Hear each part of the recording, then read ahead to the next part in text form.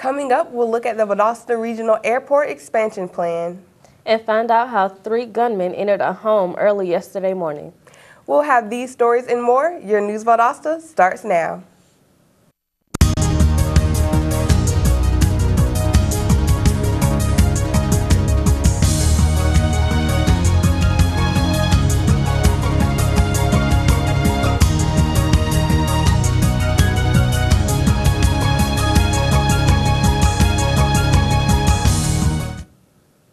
Welcome to News Valdosta. I'm Zenobia Harris. And I'm Akira Foster. The Valdosta Airport Authority held a meeting yesterday about the upcoming construction on the apron expansion project. The expansion is scheduled to start in January, said Jim Galloway, the airport's general manager.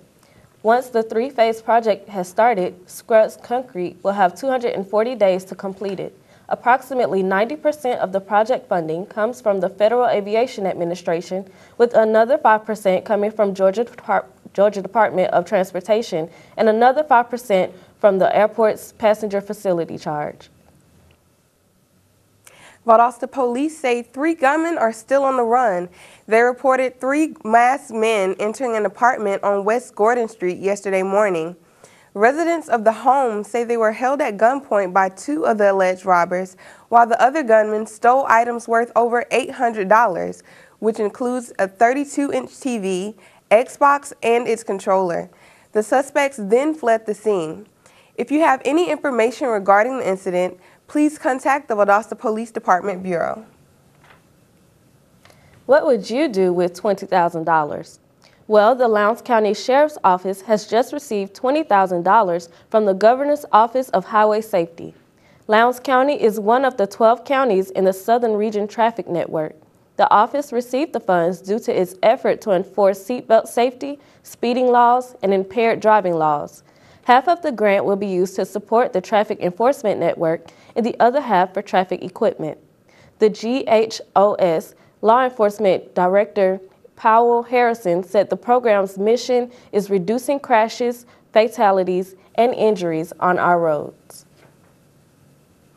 Residents say they are pleased Lowndes County commissioners denied a rezoning request that would have led to traffic problems in their area.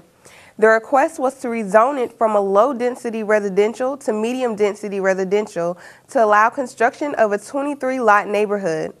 The homeowners were mainly concerned about the traffic increase because the area is so close to Valdosta Middle School.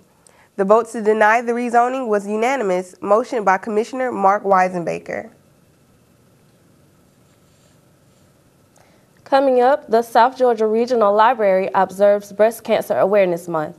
And later, Xavier Clement will tell us about a recent performance held at Valdosta Middle School, so don't go away.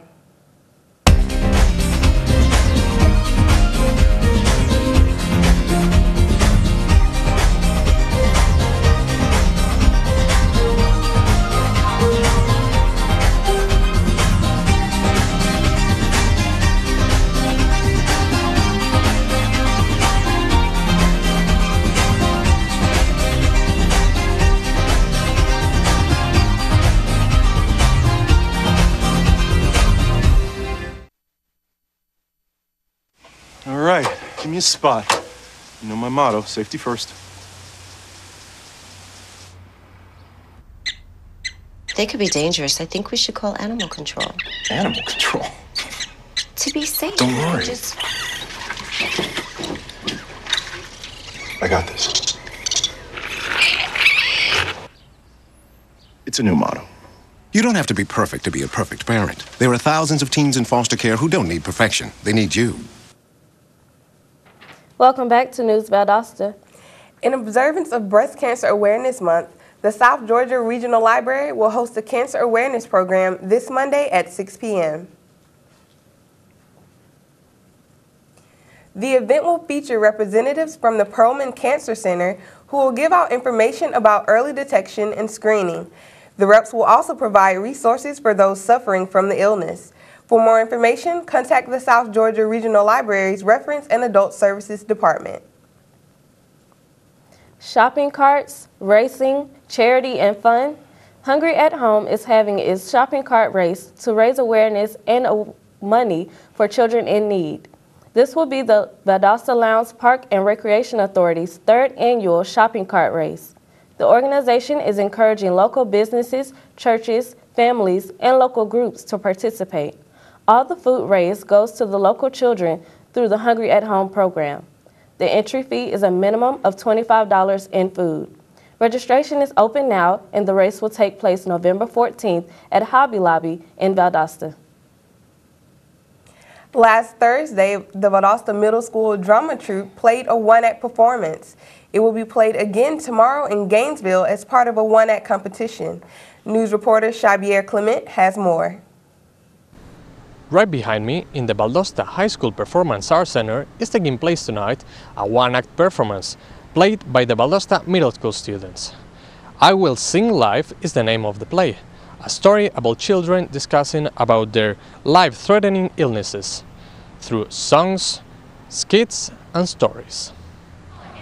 The VMS Players One Act competition team, consisting of 6th to 8th grade students, have been working on the play since the first week of school. The show has come together, it's come a long way since when our actors first started. Our leads and our support cast have been working very hard for the show. All in all, it's been a great experience, and we really hope that the show tonight goes well. Now, VMS players and other area middle schools have the opportunity to join a statewide competition. It's on the 16th. It's in Gainesville, Georgia. It is a one act competition for middle school. This is the first year that Georgia Theater Conference is hosting it for us.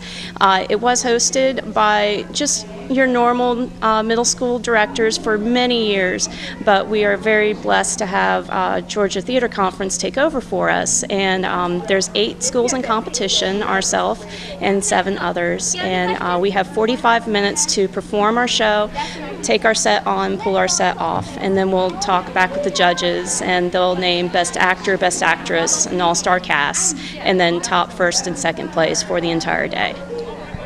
So, if you want to see again I Will Sing live, just go to Gainesville the next 16th of October for supporting the Valdosta Middle School players. For News Valdosta, Xavier Clement.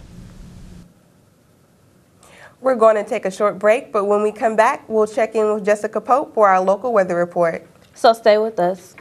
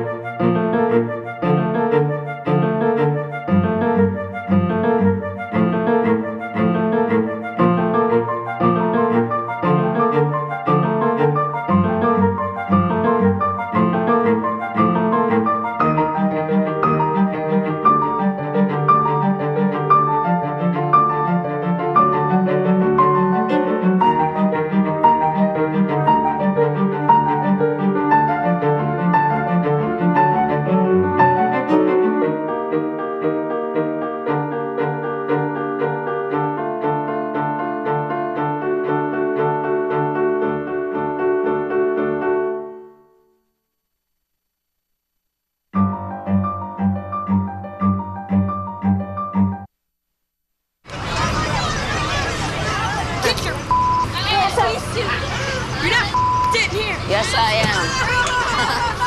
Move. Move. Here. Give it to him hard. No, no, no, ow. Every day, kids witness bullying. Why you stab me with it? No, They want to help, ow. but don't know how. Oh, you got- Teach your kids how to be more than a bystander. Visit stopbullying.gov. And we're back with News Valdosta. Now it's time for a look at our weather report with Jessica Pope. Jessica, what's in the forecast?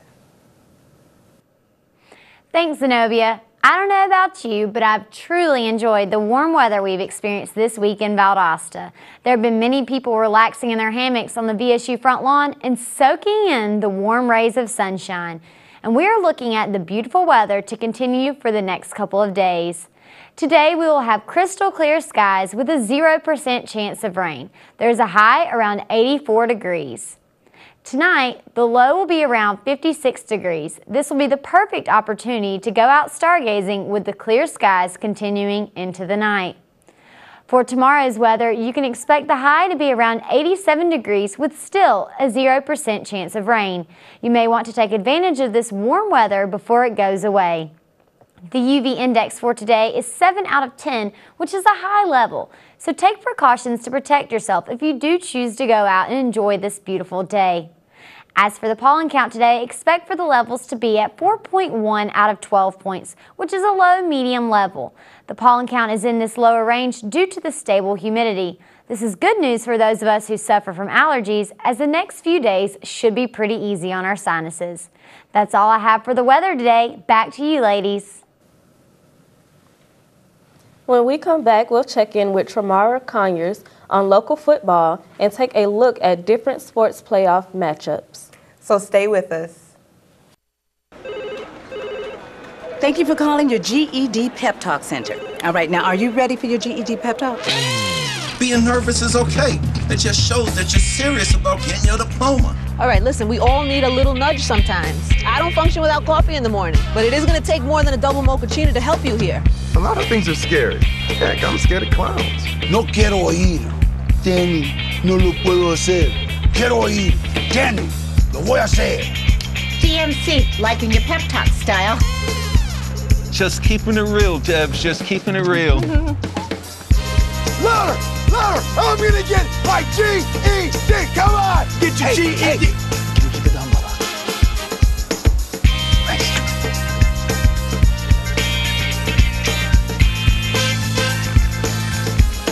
Whatever motivation you need, we've got a pep talk for you. Get your GED pep talk and find free classes at yourged.org.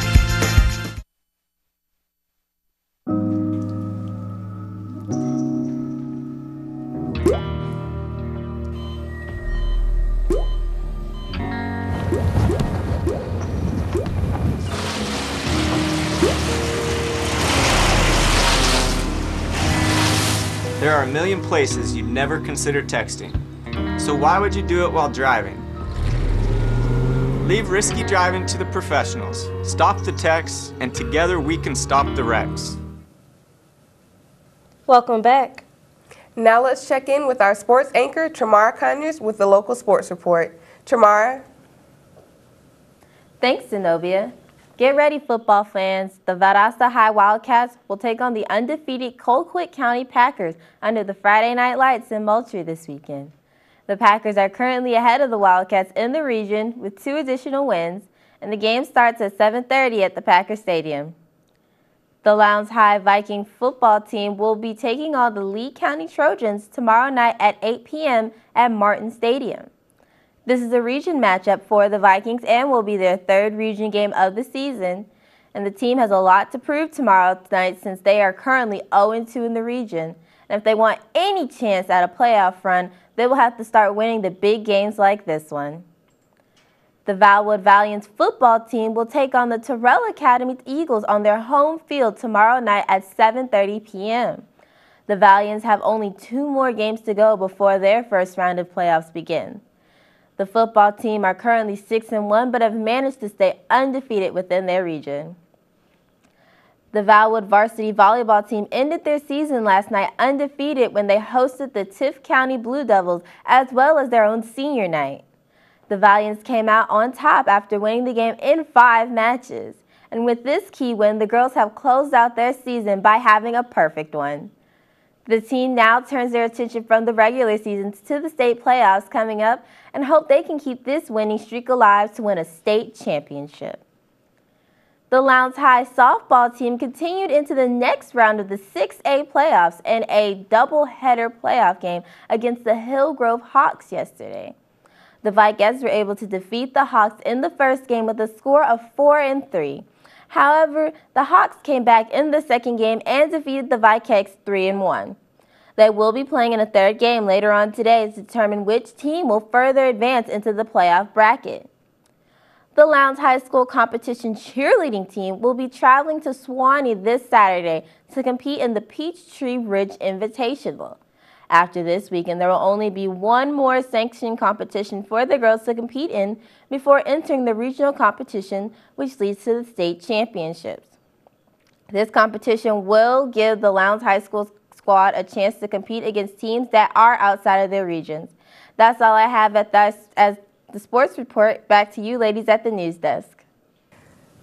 Thanks, Tramara. Coming up, we'll find out what the Valdosta Police Department has in store for trick-or-treaters this Halloween. So don't go away.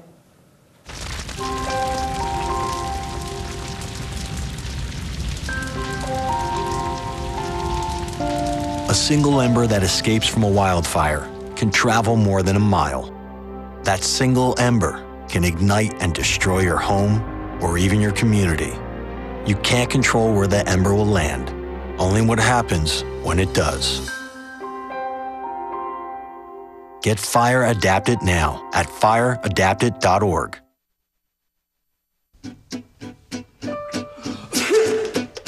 Danse, balance, suis la cadence, ondule bien tes hanches au bal du dimanche.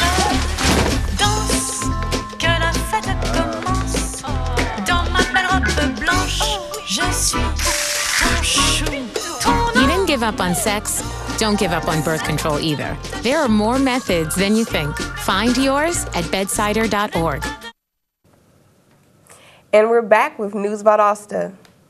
There will be no tricks this year because the Valdosta Police Department will be assisting the community for Halloween this year. A former Valdosta High School student has been recognized for what he loves. On Tuesday, Malcolm Mitchell was presenting the Georgia Star Award at an elementary school where he was surprised himself. Mitchell was selected among 15 other UGA Bulldogs for the All State Good Works team. He was recognized for his positive impact on others and the community. He is a published author of a children's book and a proprietor of his own website. The Valdosta Police Department has announced that they will have extra officers on staff to patrol the community on Halloween between 6 and 9 p.m. The city has the city also offers practical tips to trick-or-treaters like selecting routes with good lighting, wearing reflective clothing, and eating a good meal before to minimize that sweet tooth. Motorists are urged to drive cautiously through the residential areas. Fall is the season of thankfulness and appreciation. Here in Valdosta, we have new opportunities to admire our local talent. With more on the story, here's Caitlin Redford. This Saturday is going to be the first annual Fall Music Festival here in Valdosta, Georgia. The festival is going to be held at the Lowndes County Civic Center just on East Highway 84. This is the first time that musicians of all ages and talent levels will be able to play for the community. The festival will feature vendors for food and merchandise. This event hopes to bring added commerce to the area and an added appreciation of the arts. Musicians are encouraged to come out and enjoy others with their similar talents. Again, the first annual Fall Music Festival will be this Saturday at the Lowndes County Civic Center just off of East Highway 84. For News Valdosta, this has been Caitlin Redford. That's it for our program today. Thank you for watching News Valdosta. I'm Akira Foster. And I'm Zenobia Harris. We'll see you Monday. Have a great weekend.